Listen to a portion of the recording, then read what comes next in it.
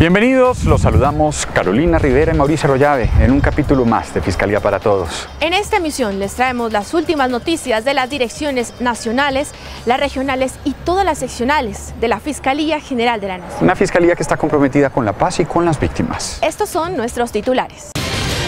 Con operativo de la Fiscalía General y la de GIN, se realizó el secuestro de bienes en manos de testaferros de Vicente Castaño, ex jefe paramilitar de las Autodefensas Unidas de Colombia. La Fiscalía realizó jornada de conciliaciones masivas en la que se dio solución a delitos querellables como lesiones personales, abuso de confianza y daño en bien ajeno. Talleres de capacitación para orientadores y receptores de denuncias fueron realizados por la Subdirección Seccional de Víctimas de Bogotá.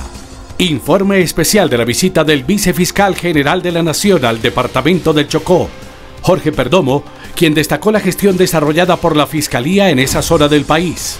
La Dirección Nacional de Comunicaciones, Prensa y Protocolo estrena instalaciones en nivel central de la Fiscalía.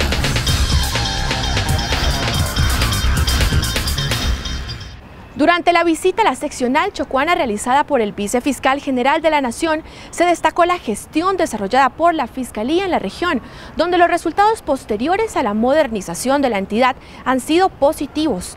La gestión ha logrado generar nuevamente confianza en la ciudadanía. Gracias al arduo trabajo que emprendió la seccional Chocó para combatir la criminalidad en el departamento, hoy se puede dar un parte importante de la operatividad y de los avances en los procesos. En 2015 hemos hecho 781 imputaciones de cargos, hemos presentado 278 escritos de acusación, 302 personas de las imputadas han tenido medidas de aseguramiento, 300 personas han sido condenadas en lo que va corrido del año y hemos, hemos realizado en total 753 capturas. Uno de los principales ejes en los que se ha centrado la Fiscalía es en la identificación de las bandas que delinquen en la zona. Hemos desarticulado en lo que va corrido del año 61 organizaciones criminales que se dedicaban a varias cosas, a cometer delitos contra la administración pública, es decir, temas de corrupción, bandas dedicadas a la subversión y al terrorismo, temas de delincuencia moderna como los delitos informáticos, microtráfico, homicidio, minería ilegal, hurto y hasta secuestro. Entre los casos donde los resultados son significativos está el de la pensión de gracia, una defraudación al Estado en cuya investigación hay 60 personas judicializadas por falsedad material en documento público, uso de documento público falso, enriquecimiento ilícito y fraude procesal.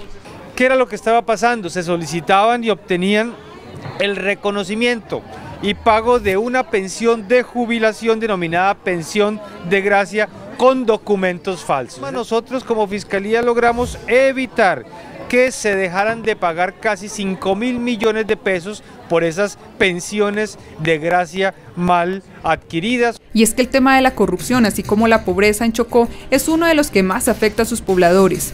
Por eso, otras investigaciones relevantes son las que han permitido frenar los desfalcos al sector salud, como el caso de Caprecom bajo la modalidad de demandas civiles ficticias en contra de Caprecom, siendo eh, demandante la droguería Pro Servir Las Granjas. Ahí vimos cómo a través de los jueces y a través de esas demandas civiles falsas estaba defraudando el sistema de salud en el Chocó.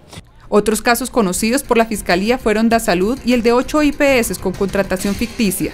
Por estos tres procesos hay 28 personas capturadas donde se elaboraron acuerdos de pago de contratos inexistentes firmados por el representante legal de Cedro Salud IPS y una abogada litigante, fueron utilizados como título ejecutivo para el cobro judicial de aproximadamente 3.200 millones de pesos. Se capturaron algunas directivas de estas IPS por cuanto se decía que se estaban entregando unos medicamentos cuando esos medicamentos no se estaban entregando. Una afectación más de la región en la que intervino la Fiscalía es la minería ilegal, por la cual se han realizado 78 capturas en operativos efectuados en los municipios de Atrato, Tadó, Contón de San Pablo, Quibdó, Lloró, Río Quito, Itzmina y Certegui. Y algo también que nos está preocupando y que nos lleva a hacer un análisis criminal muy concreto. 13 de esos capturados son ciudadanos de nacionalidad brasilera. De manera que allí tenemos que mirar qué es lo que está pasando, porque es que está llegando gente de otros países aquí a delinquir en el fenómeno de la minería ilegal. La Fiscalía sabe que detrás de estos resultados hay un talento humano comprometido. Por eso un grupo de 25 personas, entre ellos 7 fiscales, entrarán a formar parte de la seccional Chocó en los próximos días para reforzar el equipo de trabajo. Diana Barreto, Fiscalía para Todos. En una operación liderada por la Fiscalía y la Policía Nacional Dijín, se realizó el secuestro de bienes en manos de testaferros de Vicente Castaño, ex jefe paramilitar de las Autodefensas Unidas de Colombia. Los bienes, avaluados en 2 mil millones de pesos, fueron despojados a campesinos de Urabá, en Antioquia y en el departamento de Córdoba. El director nacional de Justicia Transicional señaló que estas diligencias resultan trascendentales en materia de restitución de los derechos de las víctimas y del cumplimiento efectivo que debe llevar la Fiscalía General de la Nación. Es importante decir que las autodefensas habían utilizado estos bienes para ejercer control territorial en dicha región, para someter a sus víctimas, para financiar el conflicto armado y por eso hoy en día la Fiscalía General de la Nación da un parte que dichos bienes no solamente se le están devolviendo a aquellas víctimas que fueron despojadas, sino también están entrando a sumar para la reparación de las víctimas. La recolección de información en campo realizada en San Pedro de Urabá, frontera con el municipio de Valencia, Córdoba, dio como resultado la ubicación de 21 predios que de acuerdo con las investigaciones fueron adquiridos con dineros producto del narcotráfico y utilizados por los Castaño para enfrentar a sus grupos armados. Lo que sabemos a través de la investigación es que eh, Castaño, Vicente Castaño, lo que buscó fue despojar de tierras y acrecentar su riqueza en este sector del territorio colombiano como es el noroccidente, en lo que es eh, Antioquia, Urabeño y especialmente algunos municipios de Corto. Es importante resaltar que las 1.500 hectáreas serán utilizadas una parte por la unidad de reparación de víctimas y la otra se devolverá a sus verdaderos propietarios. La Fiscalía General de la Nación ha logrado este resultado debido a su labor de persecución en contra de los grupos paramilitares para dar con los bienes, con los dineros con los cuales se financió el conflicto. La Dirección Nacional de Justicia Transicional viene trabajando a lo largo de año y medio en la reparación de víctimas y recuperación de tierras producto del conflicto armado. Julián Fernández, Fiscalía para Todos. La Dirección Seccional de Bogotá realizó una jornada de conciliaciones masivas en las que se busca solucionar ágilmente los conflictos por delitos querellables, como son lesiones personales, abuso de confianza y daño en bien ajeno, entre otros. En dicha jornada se atendieron más de 1.300 casos. Con la atención en siete diferentes puntos de la capital, servidores de la Subdirección Seccional del Cuerpo Técnico de Investigación de Bogotá lograron la conciliación de aquellos conflictos o delitos querellables. Que podemos finalizar una investigación luego de que las dos partes hayan acudido a un centro de conciliación o a una unidad de conciliación preprocesal y hayan eh, limado sus asperezas, hayan llegado a un acuerdo, es decir, una solución a este conflicto. Una jornada que empezó a las 7 de la mañana y que durante más de 8 horas continuas logró resultados positivos, descongestionando las salas de conciliación y las casas de justicia de la ciudad. En esta jornada se conciliaron 209 eh, investigaciones. Sin embargo, otras de las diligencias fueron archivadas. Solo fueron citadas más de 1.200 a, este, a esta jornada masiva de conciliación.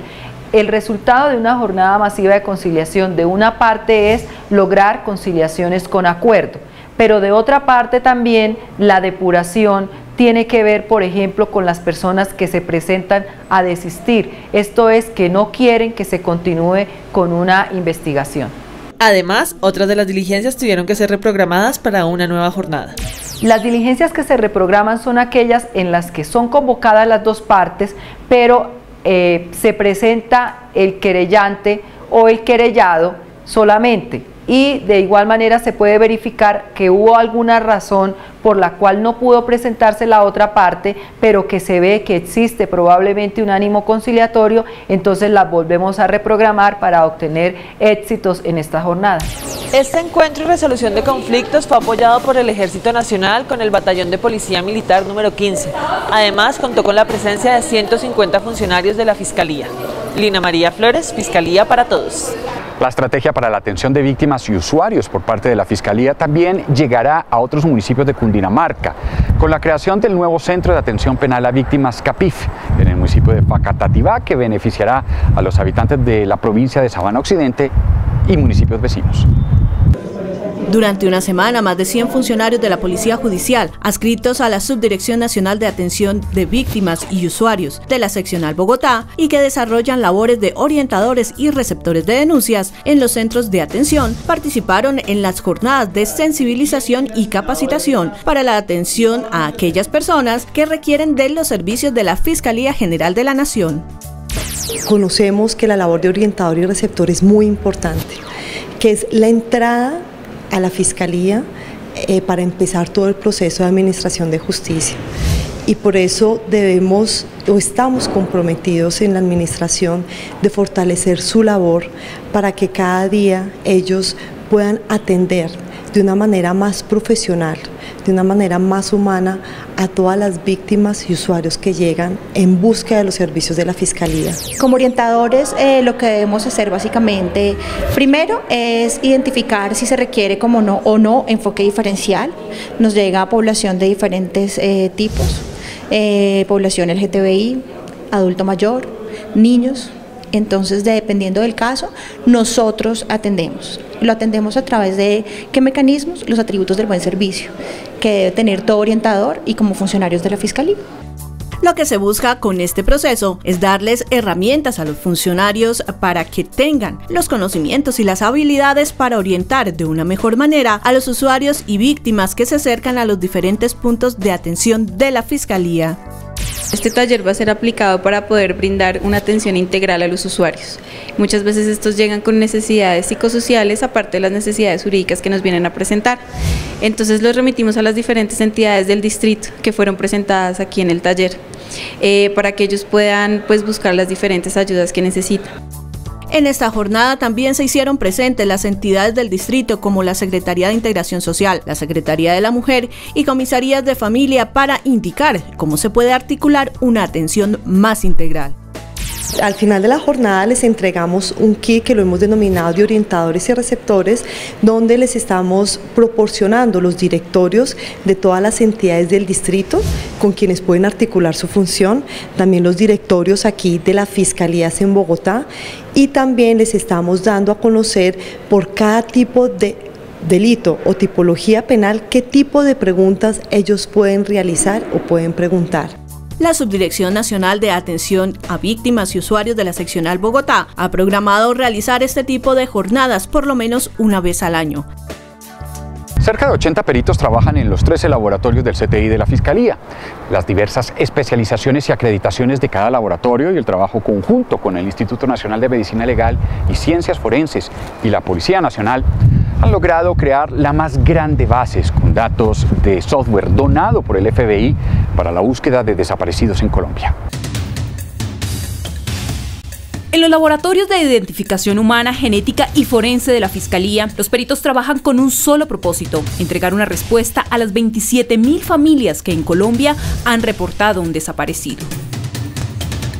Lo hacen aquí, en estas salas dotadas con tecnología de punta que incluso superan a las de otros países y hacen que el laboratorio de genética sea uno de los 76 certificados en el mundo en norma técnica internacional. El grupo de genética que funciona desde el año 2000 adquirió estas instalaciones con más capacidad de análisis en la obtención de resultados para las autoridades judiciales. Este grupo está acreditado desde el año 2011 y pues eh, año a año ha renovado su acreditación, eh, ha continuado con acreditación. Y bueno, con, estas nuevas instalaciones eh, se busca es cumplir pues a cabalidad, con mayor cabalidad, los eh, requisitos de la norma técnica internacional, como son todas las condiciones ambientales específicas que exigen estas normas internacionales. Otras disciplinas de trabajo forense como fotografía, video, acústica, lofoscopia, morfología, química, antropología, medicina, odontología, balística, microcopia electrónica de barrido y topografía tienen un lugar en los demás laboratorios del CTI de la Fiscalía. En la identificación de restos óseos, los peritos que participan en el proceso tienen en cuenta todos los elementos asociados a los restos humanos. Así, las prendas de vestir, los accesorios que lleva la víctima y las marcas impresas que tienen los mismos restos se convierten en piezas fundamentales para determinar la identidad de una persona. Luego, cuando los restos humanos como tal, que es lo que nosotros recibimos, los analizamos por medio de diferentes técnicas de biología molecular para obtener el ADN de dichos restos y eh, este resultado del análisis de ADN lo vamos a comparar con muestras de ADN conocidas o muestras de referencia, como lo llamamos nosotros, y hacemos un cruce de información, un cotejo genético para saber la identidad de una persona. El grupo de genética apoya a diferentes autoridades fiscales a nivel nacional, como la Dirección de Justicia Transicional en los procesos de identificación de víctimas por desaparición forzada, a la Dirección de Derecho Internacional Humanitario DIH y a cualquier otra institución que necesite de sus procesos de investigación el análisis de evidencias biológicas para identificar víctimas o agresores en conductas como homicidio, delitos sexuales y secuestro, entre otros.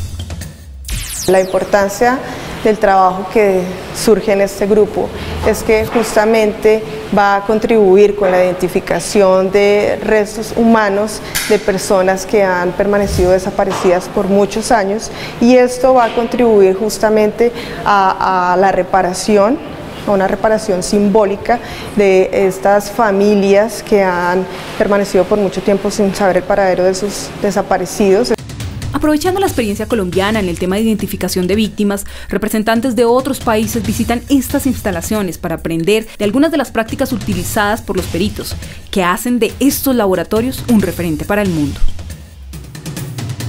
Con el proyecto de modernización que inició en el año 2012 la Fiscalía General de la Nación le dio una nueva cara a las instalaciones de la entidad.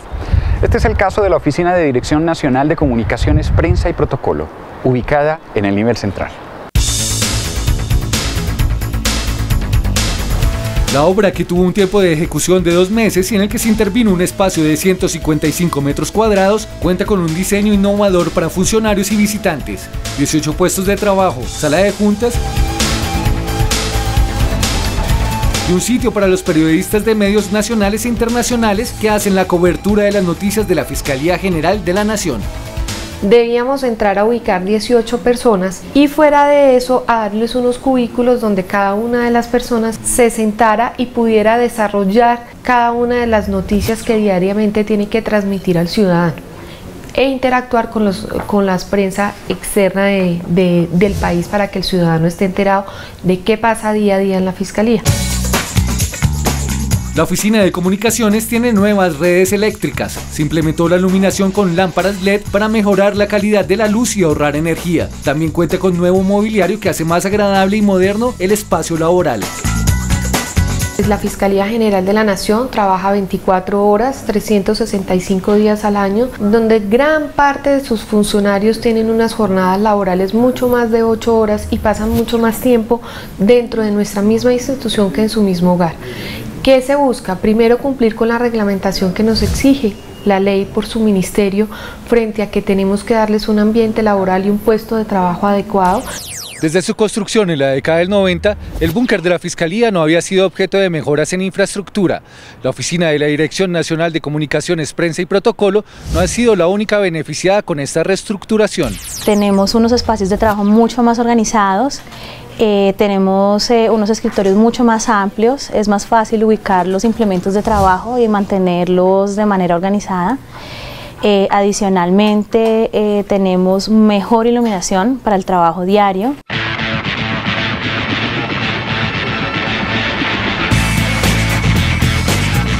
Así como María Paula Castro, son varios los funcionarios beneficiados con la reestructuración de la oficina. La Fiscalía es una entidad que sabe que el valor humano de los trabajadores es vital para el óptimo desarrollo de los objetivos trazados como ente de control. Demuestra el interés de las directivas por, por su gente por la calidad de su trabajo, por las condiciones ideales para podernos desempeñar todos los días.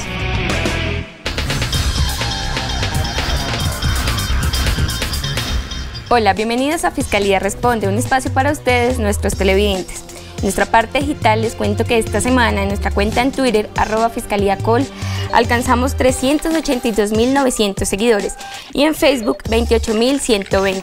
Gracias a todas las personas que se contactan con nosotros a través de nuestras redes sociales. Precisamente una de nuestras seguidoras, la señora Lizeth Montoya, nos envía la siguiente pregunta. ¿Cuánto tiempo es el permitido para que una persona detenida esté en las salas de paso transitorio de la Fiscalía como la SURI? La respuesta a continuación. Respondiendo a su pregunta, Lice, le informo que el tiempo que pueden durar unos detenidos en las salas de paso de la Fiscalía es el tiempo en que el juez expide la boleta de encarcelamiento y la demora es el cupo del IMPEC en recibir detenidos. Y ahora vamos con la pregunta de nuestro televidente que en esta ocasión viene desde la ciudad de Washington. ¿Por qué es importante que la Fiscalía tenga representaciones en el exterior?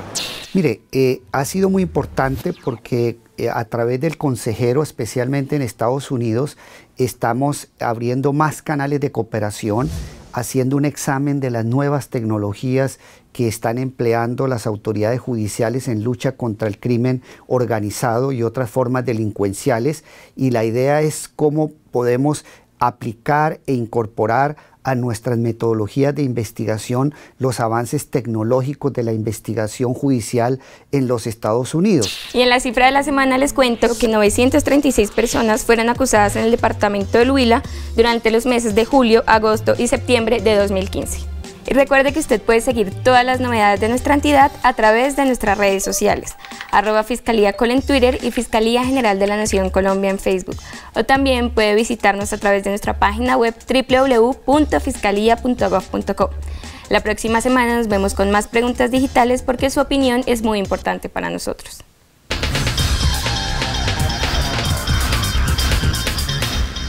Ahora vamos con el resumen noticioso de esta semana en Fiscalía para Todos. 29 personas fueron capturadas por ser presuntos integrantes de una organización criminal que delinquía en el sur del país. Los Luisitos o Caucanos, como se denominaban, se dedicaban al homicidio, desaparición forzada, secuestro y hurto, entre otros actos delictivos. Los delincuentes operaban en los departamentos de Cauca, Valle del Cauca y Nariño, incluso en Ecuador, donde fueron hallados culpables en el homicidio de Simón Adolfo Lucero Romero, ciudadano ecuatoriano asesinado en Tulcán. Esta persona estuvo privada de la libertad durante tres meses en Colombia y fue asesinado a pesar de que la familia pagó por su liberación.